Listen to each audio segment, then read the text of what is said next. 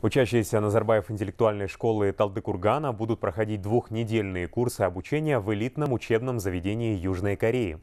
Корейские школьники, в свою очередь, будут приезжать в ЖИТСУ. Соответствующий меморандум по обмену учащимися подписан между руководством НИШ Талдыкургана и Центра образования при посольстве Южной Кореи. Кроме того, соглашение предусматривает обмен опытом и совместную работу в сфере образования. Проект стартовал 8 лет назад. Учащиеся школ двух стран изучали корейский и казахский языки и приезжали друг к другу в гости. По этой образовательной программе за время ее действия в Корее побывали уже примерно 40 учеников НИШ. Столько же учащихся из Кореи побывало в нашей стране.